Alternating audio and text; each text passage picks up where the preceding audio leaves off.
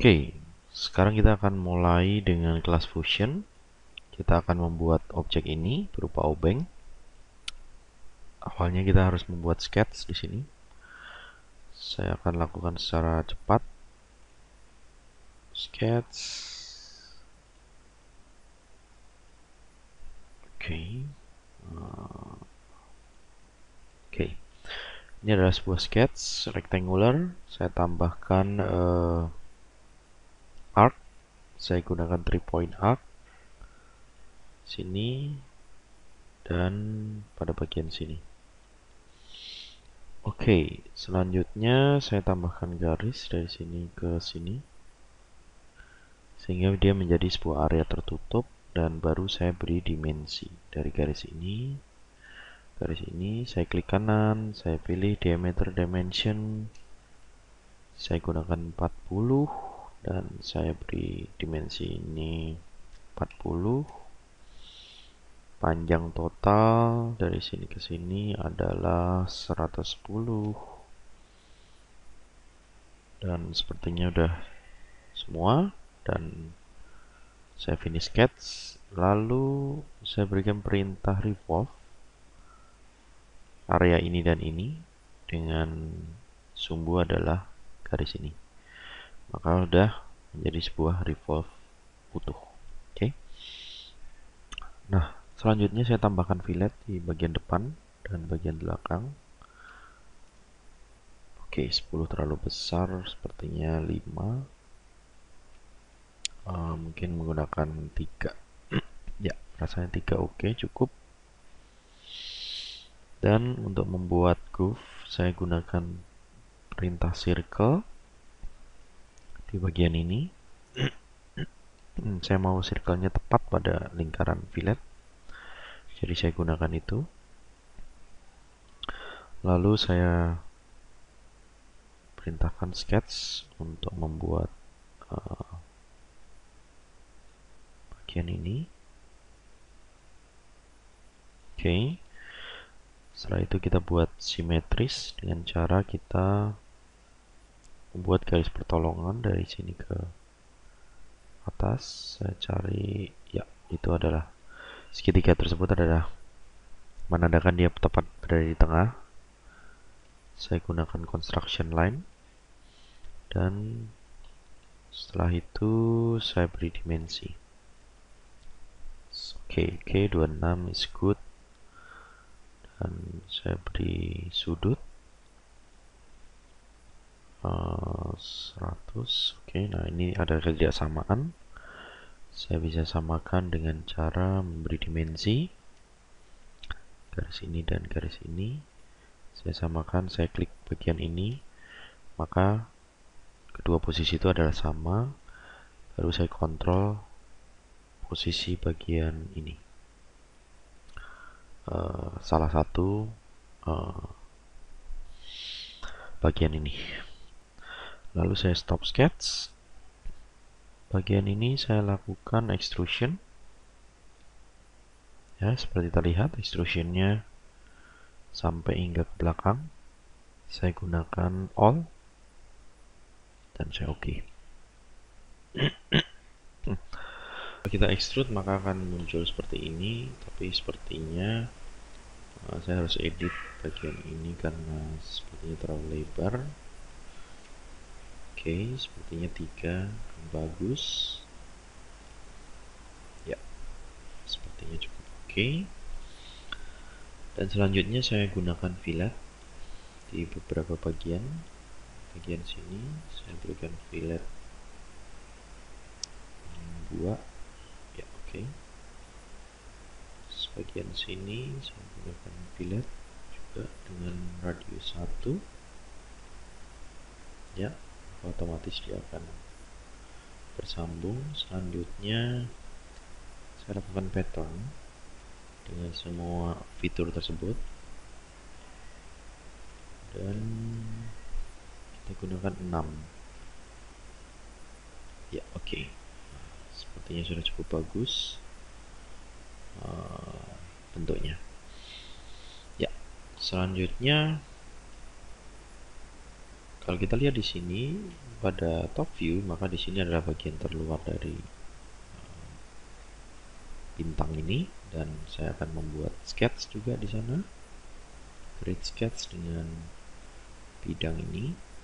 Saya mau menselect bidang itu tersebut tetapi karena plane-nya tertutup maka saya harus tahan kiri uh, mouse kiri saya dan saya pilih work plane nah di sini saya bisa slice dan saya gunakan circle.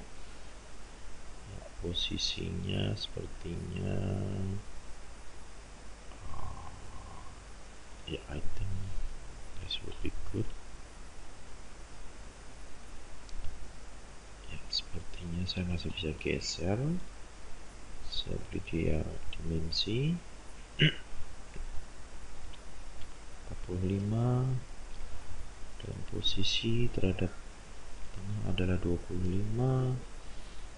dan posisi terhadap titik tengah adalah ya kita coba 35 dan lingkaran besar itu merupakan bagian yang akan saya lakukan revolve cut. Dengan bagian ini adalah ya sepertinya itu sudah cukup bagus ya dan saya ya kita lihat di sini uh, ini adalah ya ini adalah hasil jadinya oke okay. lalu kita tambahkan fillet di beberapa bagian ini dan ini supaya oke okay, saya gunakan dua ya yeah, I think dua is okay ya yeah. oke okay. Di dalam browser di sini akan terlihat body satu. Saya bisa ganti rename. Hmm.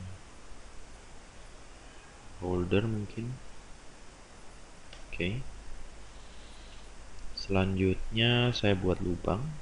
Saya create hole. Ya itu hole. Di posisi ini. Ini adalah posisi tengahnya. Saya gunakan depthnya 12 dan diameternya 12 oke okay. kalau anda lihat di situ terlihat mungkin ya 20 akan bagus hmm. nah, di situ ada hole untuk uh, membuat bagian ujungnya ya nah biasanya holder ini adalah terbuat dari plastik atau mungkin terbuat dari resin maka kita buat terpisah dengan ujung screwdrivernya. Oke selanjutnya saya tambahkan chamfer sedikit di bagian sini. 0,5 lalu saya buat sketch baru dengan posisi di bidang itu dan saya gunakan diameter sama dengan itu 12 stop sketch dan saya lakukan extrusion di kedua sisinya. Baik itu bagian dalam nah, saya pilih operationnya yang new body karena saya mau bagian ini adalah bagian yang berbeda. Nah, nanti akan muncul di sini body yang baru. Saya gunakan two side ya. Saya bisa tarik. Nah di bagian dalam saya gunakan 10 uh, eh, mungkin kurang 15 ya bagian dalam. Dan bagian luar saya gunakan 100 untuk uh, screwdrivernya. Dan saya klik OK. Nah, di sini sudah ada bodi yang pertama holder bodi yang kedua adalah screw plus. Oke saya gunakan screw plus. Selanjutnya saya langsung membuat lingkaran lagi di sini sebelumnya saya akan gunakan uh, sebuah bidang. Oke saya akan buat satu sketch di sini. Sketch tersebut nanti akan saya gunakan untuk membuat memotong bagian ujung screwdriver. Maka saya buat terlebih dahulu. Saya tambahkan fillet sini. Bagian sini dan sini uh, 1 atau mungkin 0,6 filletnya oke. Okay. dan saya beri dimensi. Dari sini ke titik pusat adalah ya uh, 0,75 karena saya mau. Oke okay, ini ke titik pusat adalah sama dengan ini. Maka saya klik dimensi itu maka dia akan mengcapture data dari dimensi tersebut. Oke. okay. Selanjutnya ini mungkin agak sedikit besar tidak ada masalah. Oke ya. Selanjutnya saya gunakan extrusion lagi pada bagian ini ini dan ini. Namun saya tambahkan ya posisi uh, sepertinya 20 derajat sorry 20 derajat. Untuk posisi ini dan oke okay, jaraknya adalah 15 ya 15 bagus. Dan di sini join operationnya. Nah di sini sketchnya tetap saya nyalakan. Nah saya sudah buat sketch yang sebelumnya. Maka sketch ini saya gunakan untuk memotong. Oke. okay. Meskipun kurang karena dia tidak full sepertinya saya harus membuat uh, merubah sketch ini. Sudutnya adalah 2 minus 22 ya. Dan jaraknya agak sedikit. Ya. Ini sepertinya 14 cocok. Ya oke. okay. Oke okay, saya lanjutkan dengan extrude bagian sini. Sini saya gunakan extrude saya bisa tambahkan sudut sedikit. Hmm, sepertinya tidak cukup. Uh, 0 oke okay, sudutnya 0 oke. Okay. saya harus rubah bagian ini lagi kembali. Ini rupanya sudut ini harus kita cocokkan dengan oke okay.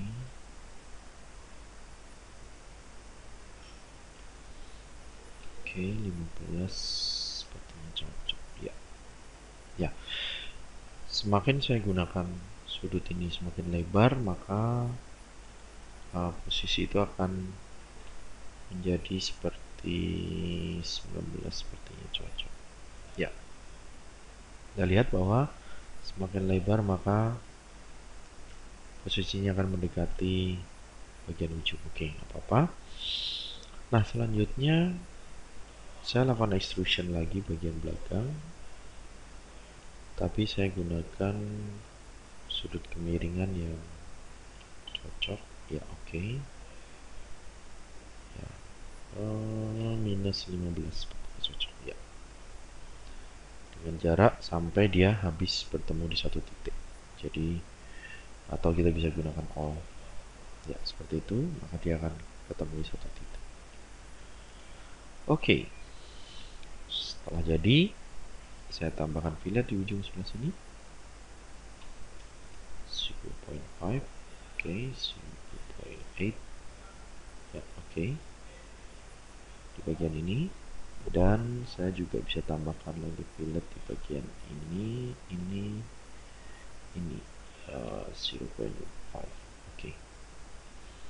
supaya agak nah selanjutnya kalau kita lihat bagian sini, maka di sini baru posisi ini. Maka saya akan lakukan pattern di keempat sisi. Jadi saya lakukan pattern. Oke. Mulai dari ini hingga ini. Semua. Oke, sepertinya salah fillet ini saya bisa lakukan ya saya geser untuk melakukan reorder. Jadi fillet ini saya bisa geser sehingga urutannya berubah. Nah, saya klik dari sini sampai sini. Dan saya lakukan pattern dengan aksis adalah lingkaran ini tentunya dan jumlahnya pastinya 4 oke. Ya. Ini adalah screwdriver yang setelah jadi. Oke selanjutnya kita bisa save oke screw. Uh, saya taruh di workshop. Oke saya save. Nah kita lihat di sini ini adalah holder dan di sini adalah screw. Keduanya kita bisa kontrol secara individual. Dan selanjutnya kita akan lakukan apply material untuk rendering. Caranya adalah mudah. Kita klik kita masuk ke dalam render environment.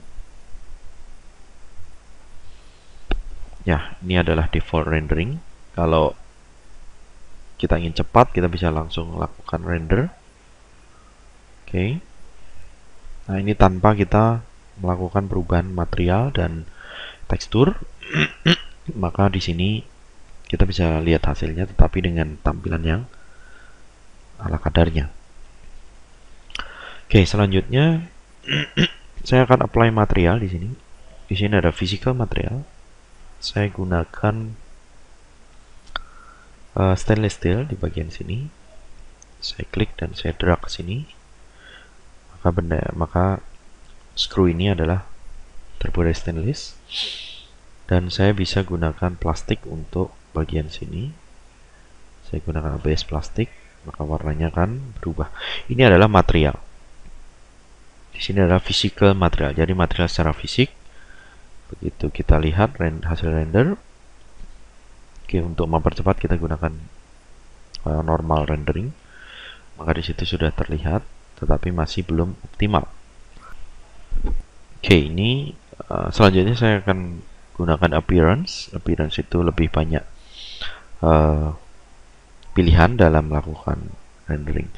Nah, di sini saya bisa apply chrome mungkin untuk material ini maka terlihat lebih uh, mengkilap dan di sini contohnya saya bisa apply glass atau kaca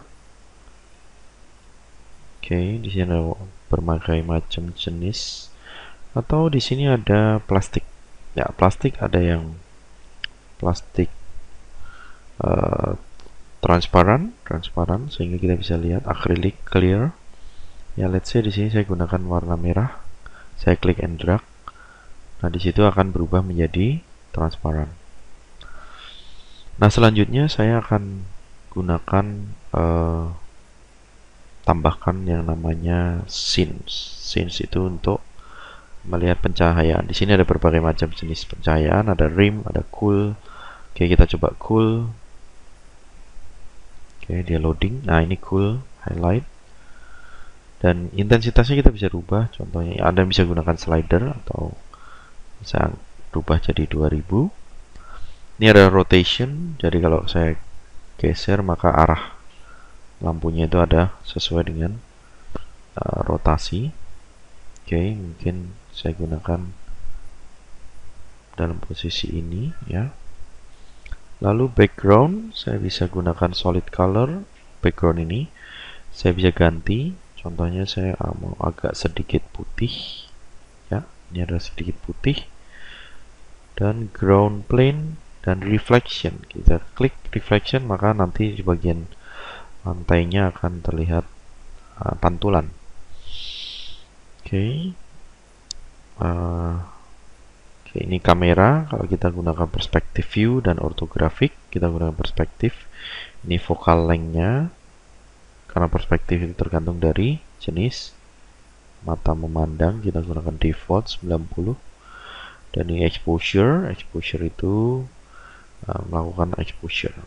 Oke okay, saya close dan saya coba dengan hasil render yang sekali lagi. Nah akan terlihat sedikit berbeda. Nah di dalam quality rendering ada tiga jenis. Ada quick, normal, dan advance. Tentunya apabila anda gunakan advance akan lebih memakan waktu lebih lama tetapi dengan hasil yang lebih realistik dibanding dengan normal dan quick. Oke. okay. Ini adalah untuk pause dan ini adalah untuk disable untuk uh, mematikan. Oke saya kemungkinan saya akan rubah bagian gagang ini supaya lebih bening. Jadi saya klik disable. Saya rubah lagi bagian scene-nya. Bagian akrilik ini saya klik kanan di situ ada edit. Nah saya bisa uh, gunakan ref refractive index. Di sini sudah ada presetnya contohnya kalau saya gunakan diamond maka dia akan lebih terlihat lebih uh, mengkilap. Lalu saya coba render sekali lagi. Nah, Anda bisa tahu perbedaannya ya. Akan menjadi reflektif lebih reflektif dibanding sebelumnya. Oke. Okay. saya double klik. Saya gunakan uh, mungkin tidak gunakan ini saya gunakan glass dengan nilai yang lebih rendah. Oke. Okay. lalu saya mau sedikit agak soft merahnya agak ke putih. Dan saya coba render. Ya. Terlihat perbedaan dari hasil render dengan kita melakukan perubahan material. Nah di situ terlihat material. Oke kita gunakan uh, quality yang lebih bagus yaitu dengan advanced rendering. Kita lihat dengan settingan quick. Dia secara cepat akan menampilkan. Saya disable. Kalau kita gunakan normal ya quick dan normal tidak memiliki hasil yang signifikan perbedaannya tapi begitu saya gunakan advance maka uh, warna tekstur dan lain sebagainya akan lebih Eh, jelas terlihat dan lebih realistik. Tapi tentunya konsekuensinya adalah bahwa dengan render yang uh, advance tentunya akan memakan waktu lebih lama. Ya ini adalah hasil render dengan menggunakan settingan advance. Oke. Okay. Nah selanjutnya saya akan melanjutkan dengan melakukan individual uh, override dalam bagian ini. Contohnya di gagang ini banyak Oke, gagang saya akan rubah dulu. Tidak menggunakan transparan, tetapi dengan plastik biasa. Saya gunakan hitam. Ya, oke. Okay. Tetapi di sini ada pilihan face, yaitu apabila saya ingin melakukan override material dan tentunya hanya bagian face-nya saja. Oke, okay, contohnya ini yellow, saya rubah ini menjadi yellow. Ya, kita klik and drag bagian ini uh, mungkin bagian fillet nih bagian sini bagian kemiringannya okay. ya oke okay. bagian sini oke okay. ini dan ini oke okay. Oke. Oke, mungkin saya tambahkan sekali lagi sedikit penambahan supaya lebih terlihat. Oke, posisi ini, bagian sini, dan bagian sini. Oke, uh, selanjutnya Anda bisa lanjutkan sendiri uh, ke semua permukaan sesuka Anda dan tentunya setelah itu uh, kita lakukan rendering di posisi oke okay. Yang terpenting dalam melakukan rendering adalah uh, tipsnya adalah di sini ada di sini ada posisi view cube. Pastikan top view selalu ada di atas sehingga pantulan daripada objek itu akan terlihat dengan baik. Ya saya gunakan advance. Jadi sedikit memakan waktu lebih lama okay, saya rubah cara quick ya oke okay. ya ini adalah tampilan dengan quick uh, quality uh, normal ya sehingga biar agar lebih cepat oke okay. kadangkala setelah kita melakukan rendering maka kita butuh output uh, gambar atau image ini sehingga image itu bisa kita pergunakan dalam uh, hal yang lain. Nah, untuk itu contohnya dia rendering ini melakukan elapsed time dan ini adalah continue tidak akan berhenti di satu titik dia infinite. Untuk itu sebisa mungkin Anda lihat jika Anda sudah cukup puas dengan hasilnya kita bisa klik pause dan kita close. Lalu di sini ada uh, image save yaitu kita klik OK maka di situ kita bisa lakukan ya save image dari uh, hasil render ini. Oke terima kasih atas perhatiannya. Semoga bermanfaat